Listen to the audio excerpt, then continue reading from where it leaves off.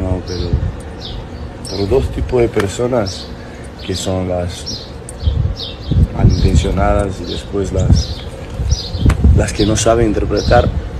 Eh, vengo a dar explicación sobre el tema de la entrevista que di eh, para un medio en Colombia, la cual fue muy buena, muy, muy dinámica, divertida, ¿no?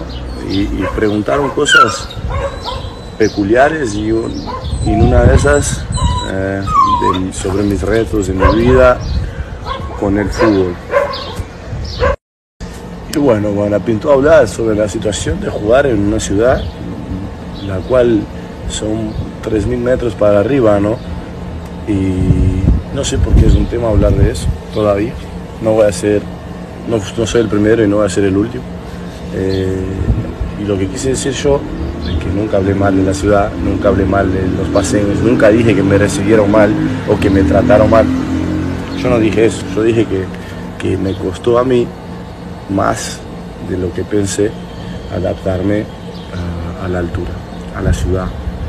Y, y eso me afectaba, me afectaba en mi vida particular también porque era más allá de los 90 minutos en la cancha. ¿no? Yo tuve otros problemas particulares eh, adentro de casa donde me sentía mal también por el, por el tema de la adaptación.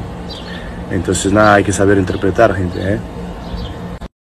Entonces nada, les invito a realmente, primero, eh, informarse, ¿no?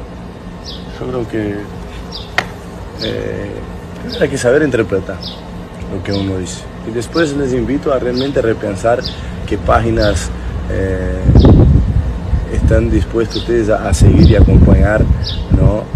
Porque hay páginas de, de internet que se dedican a, a tirar bomba, ¿no? Y que se alimenta de eso, ni, ni dinero ganan, se alimentan de su ego para hacer eso.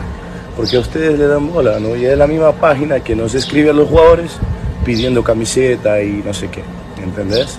Entonces, nada, les invito a tener un poquito de, de